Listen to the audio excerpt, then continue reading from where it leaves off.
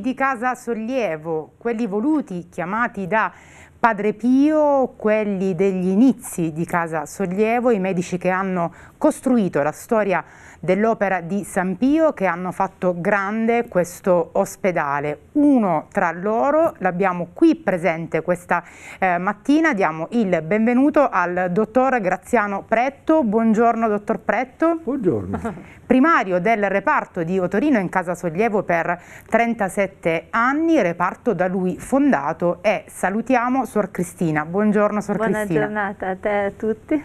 Sarà una puntata dedicata proprio a loro, appunto ai medici di Casa Sollievo e allora siccome di cose da raccontare ce ne sono davvero tante e, e i tempi a nostra disposizione sono quelli televisivi quindi per forza limitati non perdiamo altro tempo lanciamo subito il nostro jingle che apre la pagina delle storie e delle testimonianze.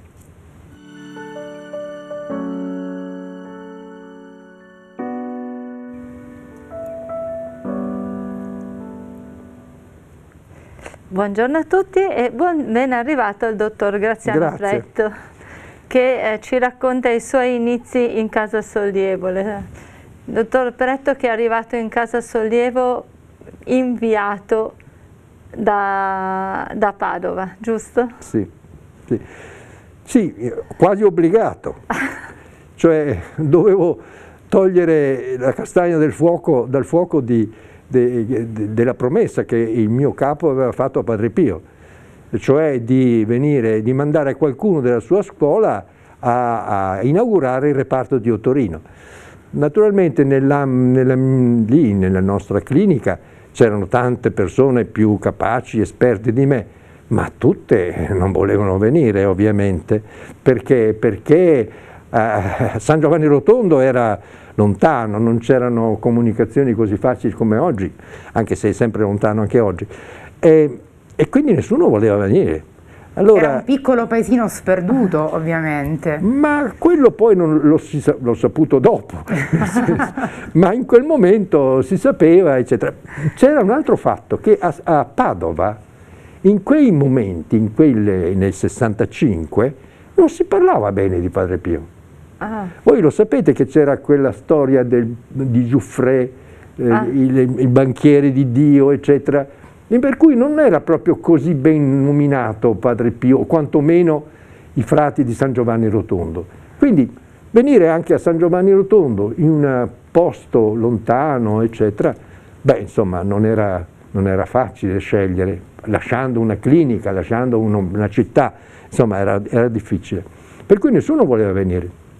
E hanno mandato lei. E a un certo punto, mm, naturalmente, convincendo mio fratello, mio fratello ha convinto me e io, nonostante tutto, e piangente, sono partito da Padova e sono arrivato a San Giovanni Rotondo e sono entrato in Casa Sollievo il primo di agosto del 1966.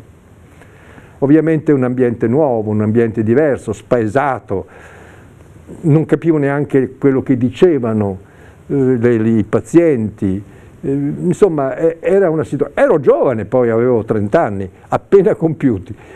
E, e, quindi mi sono trovato con, in qualche maniera un pulcino nella stoppa. Però, Ma ha trovato degli angeli custodi. Ah sì, è questo il punto. Beh, il primo, anche se allora non lo riconoscevo, era Padre Pio. Padre Pio... Ci racconta la prima volta che incontrò Padre Pio, come fu? La prima volta fu insieme con altri miei due colleghi. E, e siamo entrati, eh, siamo venuti qui mandati dal capo per, per, un sopralluogo su questa casa sollievo della sofferenza. E io non sapevo che sarei venuto poi, anzi c'era una trama dietro a questo, tutti i due che stavano insieme con me facevano di tutto perché io perché io accettassi e fossi convinto, ma io allora in quel momento non sapevo che dovevo venire qui. E quando siamo entrati in tre in convento, io come sono entrato sento, ma che profumo di rose e viole, ma... devo dire una cosa, per la strada, con i miei due colleghi, in maniera blasfema quasi, dicevamo, ma sai cosa ti dico, il profumo, ma va, ci sarà il frate della mattina che fa la profuma, il profumiere, ma poi ci sarà le stime, ma quali stime? Ci, saranno, ci sarà il frate col chiodo ogni mattina gli fa così, per dire scusa, giocavamo su queste, queste, con queste parole, insomma. Per cui quando siamo entrati dentro nel convento e io ho sentito il profumo, eccolo, mi ha detto uno, guarda, eh, tu sei suggestionato come, come, sempre succede e un altro dice ma io non sento niente, ma non c'è niente, ma, ma figuriamoci dai sul profumo non c'è niente. Bene, io vi voglio dire che sono entrato in quel convento per curare Padre Pio almeno altre, non dico centinaia, ma quasi, insomma, di volte non ho più sentito quel profumo. Mentre invece, eh, potrei aggiungere questo, il mio collega che non sentiva niente, alla fine per varie ragioni mediche e cliniche, mi ha telefonato prima di morire e mi ha detto Graziano, mi fai la cortesia, mi accogli in casa tua che voglio andare a trovare Padre Pio? E queste sono storie che davvero ci fanno uh, capire tanto. Poi, dottor Pretto, lei, noi avremmo dovuto accendere le nostre telecamere già da, da mezz'ora perché lei è arrivato qui nei nostri studi, ha iniziato a raccontare e noi eh, eravamo, oh, come dire, contente di ascoltare i suoi racconti. Lei ci diceva anche che ehm, ha sentito comunque nel, nel suo lavoro, in, nei tanti anni del, eh, del suo lavoro, comunque sentiva la protezione ah, di sì. Padre Pio. Ah, sì. eh, ho, vi ho raccontato prima de, della storia del mio primo intervento di laringectomia, la volete sentire? Sì. E cioè, eh, io ovviamente, come sa chi per la prima volta fa un intervento chirurgico, ero pieno di problemi, di difficoltà, di, di tentennamenti, di decisioni. Beh, vabbè, insomma, fatto sta che una volta, una mattina, mh, devo fare un intervento per la prima volta, un intervento di laringectomia si trattava di un malato di San Giovanni Rotondo e, e naturalmente ho fatto questo intervento con l'aiuto di libri vari perché allora ovviamente non avevo esperienza, ero, ero, erano gli inizi, erano inizi. Certo. E, e, dopo tanto fatica eccetera e sudore ho fatto questo intervento. Uscendo in, dalla sala operatoria ho incontrato la moglie di questo signore e eh, naturalmente mettendo le mani avanti un poco io ho detto guardi signora che ci sarà, talmente, ci sarà potrebbe esserci questo, questa complicanza, quest'altra complicanza, ovviamente era, era, era, una precauzione che, che, in anticipo. E mentre io parlavo e dicevo e raccontavo la tiritera dei vari sintomi che ci potevano essere dopo questo intervento, guardavo in faccia a questa signora e la vedevo serena, distaccata, ma come ma c'era quasi, quasi da preoccuparsi che lei non, cioè, che non volesse bene a suo marito, il primo pensiero. e se non che poi alla fine di, del mio discorso questa signora dice, ma dottore, ma non si preoccupi. E dico come non si preoccupi? Ma sì, io ho sentito il profumo di Padre Pio. Questa cosa mi è rimasta così in mente, in, in testa, che da lì è partito subito un, un certo tipo di, di, discorso, cioè la sensazione di essere protetti. E, e non era la mia sola, eh? cioè Pavone, Bruno Pavone, che, che, di cui parleremo anche che, dopo, certo. Bene, Bruno Pavone, prima di, di qualsiasi intervento difficile e comunque impegnativo, e si rivolgeva, intanto andava in chiesa e poi quando poteva, finché era in, viva, in vita Padre Pio, andava da Padre Pio. E lui poi tranquillamente operava e, guardi caso, tutti gli interventi andavano bene. Ecco, Prodig- qui abbiamo anche un'immagine prodigiosamente del... bene. Io ho aperto la puntata, dottor Pretto, parlando proprio di loro, dei medici di Casa uh, Sollievo, perché appunto a loro è dedicata questa uh, puntata, perché davvero hanno uh, fatto la storia dell'ospedale. Chiamati, voluti da Padre Pio, hanno creato quella che eh, è diventata poi un centro d'eccellenza in un paese sperduto, come dicevamo prima, mai nessuno avrebbe eh, immaginato questo grande miracolo di Padre Padre Pio. Eh, c'è una foto molto bella e so che lei ci tiene anche a, a portare anche il suo personale ricordo del, um, dell'allora direttore eh, sanitario di Casa Sollievo della Sofferenza che era il dottor Gusso. Ah, sì. eh, dovremmo avere una foto in cui eh, il dottor Pretto e il dottor Gusso sono insieme a eh, Giovanni Paolo II, se non sbaglio. Sì, sì, è vero, è vero, ci siamo stati. Eh, il dottor Gusso è stato il primo maestro, il secondo maestro, direi eh, il maestro più importante, se vogliamo dirlo, quello che il maestro morale, il maestro giusto, equilibrato, saggio, che conosceva l'animo umano, che, che, mi ha preso fra l'altro a voler bene, essendo lui anche veneto lui era di Caorle, e, e che ha capito qual, era il mio tormento, quali erano le mie difficoltà e me le ha subito risolte. Naturalmente mi ha insegnato molto.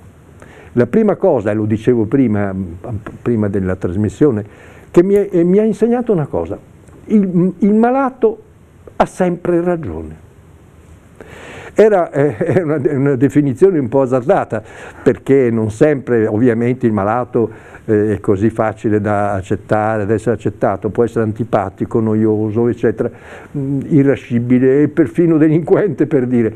E, e però eh, lui mm, ci raccomandava sempre di, eh, e ci insegnava, con esempio prima di tutto, che, che, il malato era importante. Ma perché? Perché lui era l'interprete e, e, e traduttore del pensiero di Padre Pio e, e ce lo trasmetteva, ce lo trasmetteva in varia maniera, senza dall'alto, non dall'alto, sempre in maniera piana, in maniera che entrasse veramente nell'animo nostro.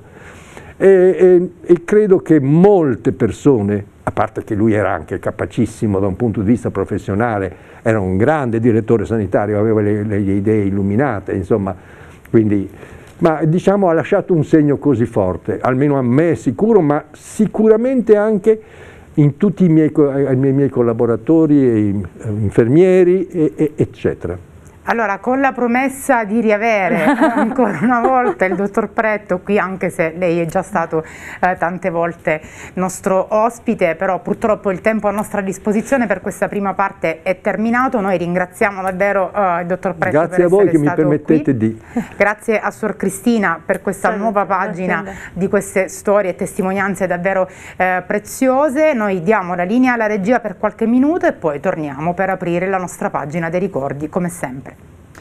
E la nostra famiglia, la famiglia di Vite in Corsia si allarga questo venerdì, diamo il benvenuto a Lucia Miglionico, Peppino Petracca e Brunella Pavone, amica di Padre Pio TV, nonché nipote del dottor Pavone di cui appunto stavamo parlando prima.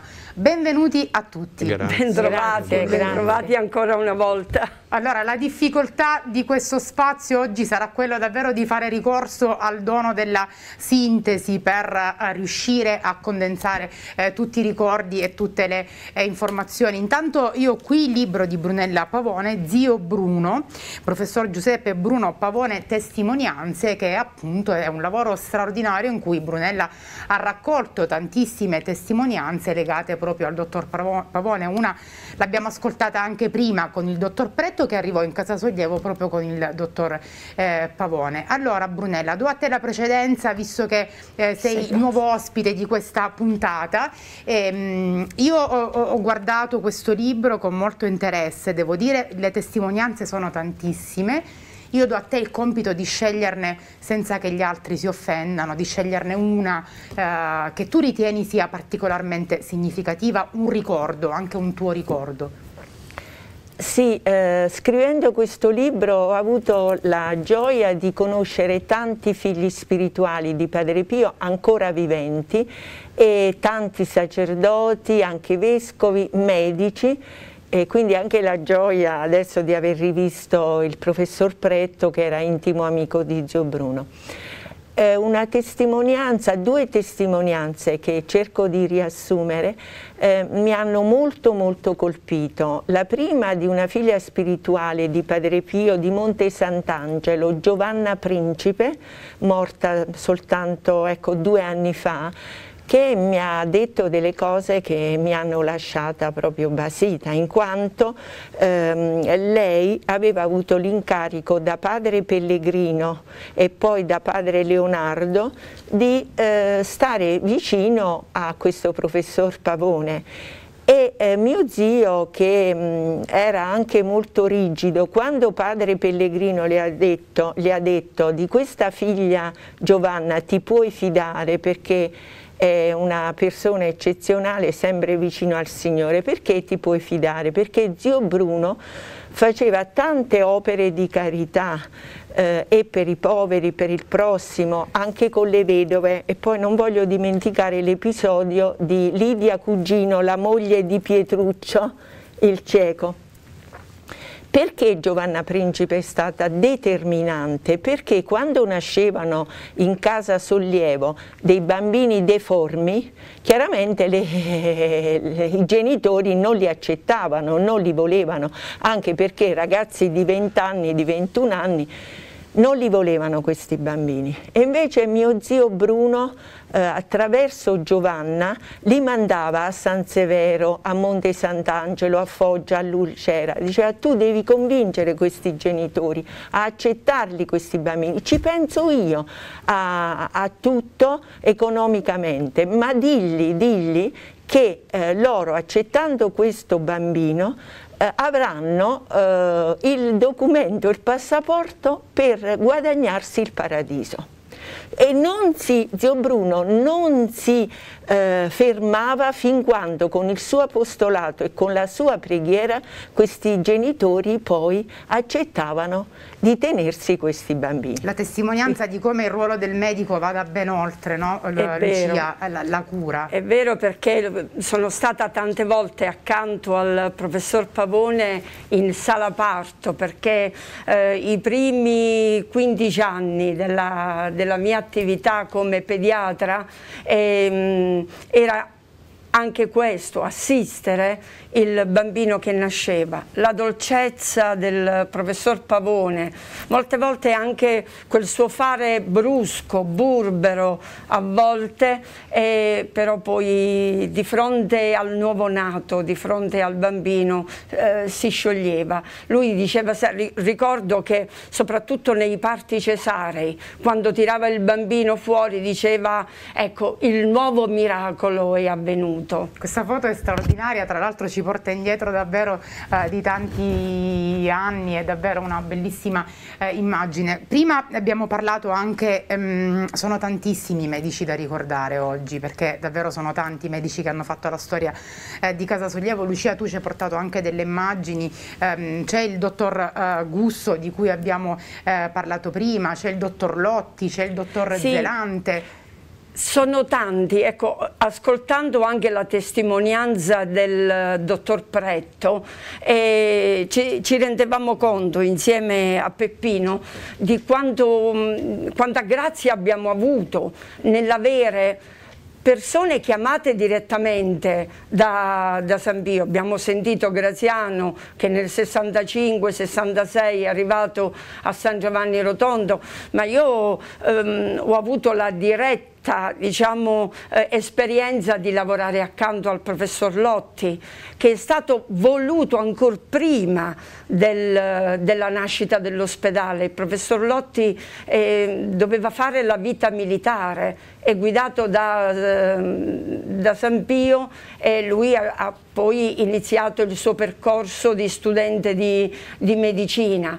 Ho avuto, allora, con il professor Lotti ho avuto la, la grazia e la fortuna di poter percorrere ore di corridoi lunghissimi in pediatria dove tra un caso pediatrico e l'altro si parlava di Padre Pio. Ecco, veramente è stato per me, per noi, perché poi tutto quello che io vivevo in reparto veniva per osmosi trasmesso in famiglia e quindi praticamente il, con Peppino abbiamo condiviso i, i, grandi padri, voglio dire, di Casa certo. Sollievo. Peppino, un ricordo anche eh, da parte tua di eh, quanto alla presenza di questi eh, giganti, li possiamo chiamare così, questi medici che davvero hanno gettato le fondamenta dell'ospedale, non solo con la loro professionalità, ma proprio in, impregnati della loro, loro, missione paternità. di servizio all'ammalato. Sì, io col professor Pavone lo incontravo quando andavamo a mensa perché non avevo frequenza col reparto di ostetricia, quindi così. E lo vedevo sempre sorridente, allegro e sempre con la battuta pronta. E per me era un piacere eh, andare a tavola, stare a tavola con lui. E poi lui era anche molto generoso per quanto riguarda, perché alcune volte aveva dei regali in natura e lui li portava a mensa, li voleva condividere. Quindi lui aveva questa questa grazia di voler condividere con tutti i suoi colleghi. Mentre del professor Lotti, ecco, per osmosi, come diceva Lucia, ecco, sentivo le storie che lui raccontava e che Lucia poi mi raccontava e, e, per me era uh, un voler, ecco, come se in quel momento stessi con Padre Pio, perché erano Brunella, le storie che quanto tempo hai impiegato tu a scrivere questo uh, libro che insomma racconta, ecco qua c'è anche la testimonianza del dottor Zelante. Eh, ecco, io sono stata fortunatissima perché essendo stata adottata dal dottor Gusso, ecco. infatti lui diceva puoi dirlo che sei la mia nona figlia, quindi io vivevo con il dottor Gusso, il dottor Pretto, il dottor Lotti, il dottor Zelante, ho impiegato con Cascavilla, ho impiegato oltre un anno e mezzo e ho intervistato un pochino tutti e ehm, la grande gioia che ho sperimentato anche che ehm, il Pazienza, un sacrista di, San, di Santa Maria delle Grazie, eh, mi disse che devo, ti, ti, devo dire di tuo zio? Mi dava ogni mese una, ogni mese una busta, una bu e dico ma a chi, dovevi, a chi la dovevi portare questa busta? Tuo zio ci teneva molto alle vedove, molto alle vedove però non ti posso dire. Io sono, era tanta la beneficenza. Sono tanto, anche il professor Fantasia, primario di ortopedria, mi disse che lui vedeva la Ghidotti sempre con un sacco di bollette e bollette che doveva pagare perché zio Bruno pagava le bollette, l'energia elettrica. E allora, allora questo fatto di... al termine di questo... No, no, voglio dire di Lidia Cugino. Sì, di Lidia Cugino. Sono andata in casa Sollievo e ho intervistato la moglie di Pietruccio il cieco. E parlando, parlando di sé, tuo zio, il professor Paolo, ogni mese un'altra volta questo, questo, racconto perché il nostro programma andrà ancora avanti, purtroppo si deve correre, eh, mi dispiace sempre interrompervi, però ci sarà sicuramente modo di riprendere perché i racconti sono tanti, è davvero difficile, io eh, però voglio ringraziarvi per essere stati con noi anche questo ehm, venerdì, per averci portato eh, le vostre storie, grazie a Lucia, grazie a Peppino che ritroveremo venerdì prossimo, grazie a Brunella per essere venuta a portare la sua testimonianza, i suoi ricordi di zio Bruno, ricordiamolo, sono raccolti anche in questo libro davvero straordinario. Grazie davvero. Grazie, grazie. Diamo la linea alla regia e poi si torna qui per l'ultima parte dedicata alla salute.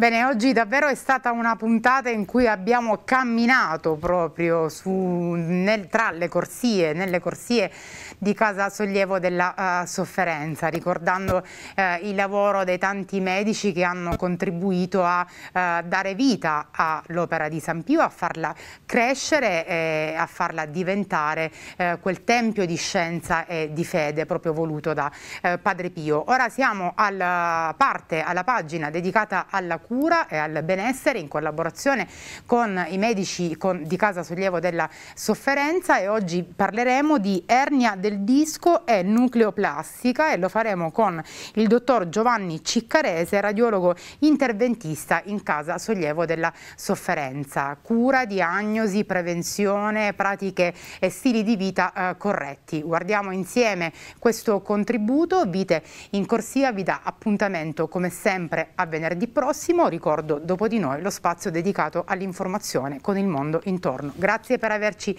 seguito, buon fine settimana, alla prossima settimana.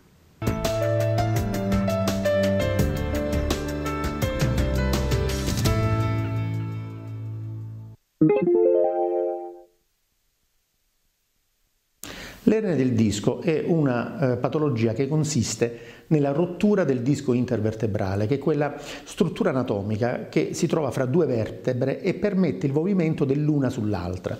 Rompendosi questo disco fuoriesce quello che sta all'interno, che è il nucleo polposo, un eh, materiale gelatinoso che uscendo dal disco va a comprimere le terminazioni nervose che sono intorno alla colonna vertebrale.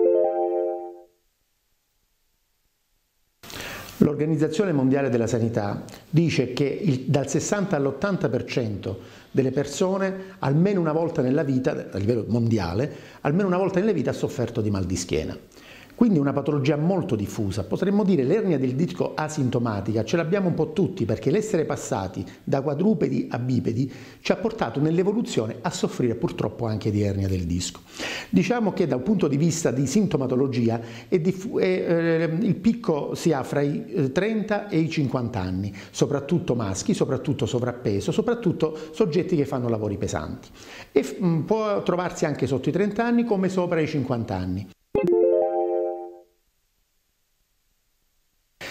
In linea teorica l'ernia del disco si può localizzare su tutta la colonna, cervicale, eh, tutta la colonna vertebrale, però i tratti più interessati sono il tratto lombare o lombosacrale e 15 volte meno frequentemente sul tratto cervicale, rarissimamente sul tratto dorsale. Questo è dovuto al fatto che l'ernia è associata anche al movimento della colonna vertebrale ed è chiaro che il tratto lombare si muove di più di quello cervicale che a sua volta si muove di più di quello dorsale che è la parte più fissa della nostra colonna.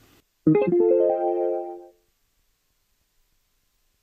I sintomi dell'ernia discale sono correlati alla, alla, posizione dove si è sviluppata l'ernia. È chiaro che andando dall'alto verso il basso, se parliamo di ernia cervicale, parliamo di cervicobrachialgia, cioè un dolore che iniziando a livello cervicale si irradia a livello del braccio. A seconda ovviamente la grandezza dell'ernia si passa dal dolore alla parestesia, quindi al formicolio, all'alterazione della sensibilità fino addirittura a, a una in, ipomobilità dell'arto superiore. Se passiamo a livello dorsale, che ripeto è un'ernia molto rara, eh, può, può, verificarsi un dolore intercostale o un'alterazione della sensibilità a livello dei muscoli intercostali. A livello lombare o lombosacrale invece si manifesta con la classica lombalgia o lombosciatalgia o sciatica che dir si voglia cioè un dolore che parte a livello lombare e si irradia o alla gamba destra o alla gamba sinistra a seconda della localizzazione dell'ernia, oppure con la cosiddetta lombocruralgia, cioè un dolore che parte a livello lombare e si irradia a livello dell'addome inferiore o dei genitali. E anche qui, a seconda della grandezza dell'ernia, pure a livello delle gambe, possiamo avere solo dolore, alterazione della sensibilità, parestesie o ipofunzionalità degli arti. La diagnosi è essenzialmente con la visita clinica, cioè il medico specialista, sia esso ortopedico, sia esso neurochirurgo, sia esso radiologo interventista, esegue un'accurata visita al paziente con esame obiettivo, andandogli anche a far compilare un, uh, un test con delle domande mirate ovviamente alla sintomatologia. È chiaro che nel caso di sospetto clinico poi di solito viene eseguita o una radiografia della colonna per escludere però altre patologie perché eh, l'ernia non si vede con una normale radiografia della colonna o per fare diagnosi di ernia ernia viene fatta la risonanza magnetica nucleare. I trattamenti disponibili li possiamo dividere in quattro fasce importanti. La prima fascia è la terapia medica, i cosiddetti cicli di terapia cortisonica o antinfiammatoria. Dopodiché c'è la terapia fisica, la cosiddetta fatta dal fisioterapista o la terapia riabilitativa lo step successivo poi sono i trattamenti mini-invasivi nel quale riveste un ruolo importante e fondamentale la nucleoplastica. Lo step successivo, chiaramente in caso di ernie espulso migrate, c'è il trattamento chirurgico, come la decompressione discale è uno di questi. L'indicazione tipica all'enucleoplastica è l'ernia sintomatica, quindi con dolore, non espulsa e non migrata, quindi la cosiddetta protrusione erniaria, cioè un'ernia che non è completamente uscita dall'anulus dal suo disco. La, la, la procedura di nucleoplastica consiste nell'inserimento per via percutanea di un ago molto sottile all'interno, al centro possibilmente del disco intervertebrale. All'interno di questo eh, ago si inserisce una sonda altrettanto sottile e si esegue la cosiddetta radiofrequenza o ultimamente si è sviluppata anche la nucleoplastica laser, cioè dei passaggi con questa sonda che si fanno che creano dei piccoli canali all'interno del nucleo polposo gelatinoso. Questi piccoli canali che sono praticamente vuoti non fanno altro che ridurre la pressione all'interno del disco perché il materiale gelatinoso va a occupare questi canali, riducendosi la pressione all'interno del disco si riduce la pressione all'interno dell'ernia e quindi l'ernia comprime molto meno o non comprime proprio le terminazioni nervose, riducendo in maniera notevole la sintomatologia dolorosa.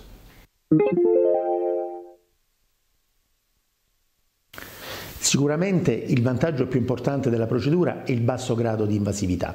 Sono procedure molto ben tollerate dai pazienti, viene fatta esclusivamente in anestesia locale e con il paziente lievemente sedato con farmaci. Non viene usata anestesia generale o anestesia spinale, questo riduce molto i rischi. Inoltre il paziente eh, ha una compliance ottima nei confronti di questo tipo di intervento in quanto l'intervento sul lettino eh, radiologico dura veramente pochi minuti, dopodiché il paziente nel giro di un quarto d'ora, 20 minuti è di nuovo nella sua stanza di ospedale. L'accorgimento più importante è che il paziente deve rimanere a letto di solito 24 ore dopo il trattamento. Gli consigliamo di alzarsi esclusivamente per andare al bagno. L'altra accortezza è di ritornare molto lentamente all'attività di tutti i giorni. Per esempio, pazienti che vengono da lontano, consigliamo di viaggiare con macchina propria a fianco al guidatore il giorno dopo quando vengono dimessi, ovviamente col sedile ribaltato per non caricare la colonna. Il trattamento è facilmente ripetibile sia sullo stesso disco sia su altri dischi.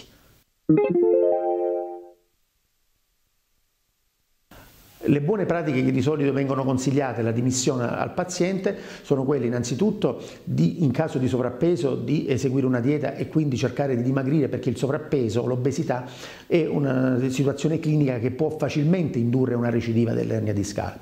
Inoltre viene consigliato nel giro di un mese eseguire una fisioterapia che può essere attiva o passiva con rinforzo della muscolatura addominale anteriore e della muscolatura paravertebrale in modo da prendere su, su, su di essa quelli che sono i pesi della colonna vertebrale. Inoltre viene, viene consegnato al momento della dimissione un apposito foglietto illustrativo con tutte le eh, accortezze che il paziente deve seguire a domicilio nel, nel prossimo mese di vita.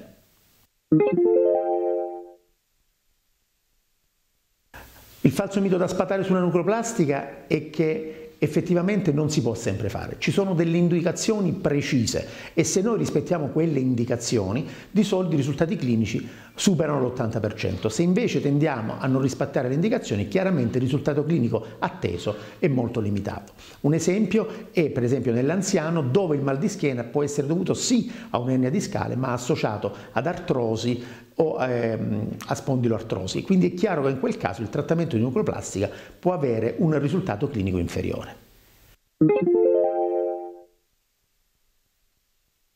La radiologia interventistica è una branca della radiologia medica che esegue eh, mediante eh, trattamenti invasivi o mini invasivi delle procedure come quelle sulla colonna vertebrale. Nel caso della colonna vertebrale noi per esempio eseguiamo da diversi anni come la nucleoplastica la vertebroplastica, cioè che l'iniezione di cemento all'interno del corpo vertebrale in paziente che ha avuto una frattura dello stesso corpo o frattura patologica o frattura traumatica. Negli ultimi tempi la radiologia interventistica di San Giovanni Rotondo ha anche cominciato il trattamento dell'osteoma osteoide, della radiofrequenza dell'osteoma osteoide, cioè un tumore benigno molto doloroso della corticale delle ossa lunghe che noi trattiamo in maniera mini-invasiva. Ancora abbiamo, trattiamo per esempio ancora l'artrosi delle faccette articolari, mi, mi sentite? soggetti soprattutto anziani, che è una patologia che mima molto spesso Annis, la patologia associata sì. all'ernia discale.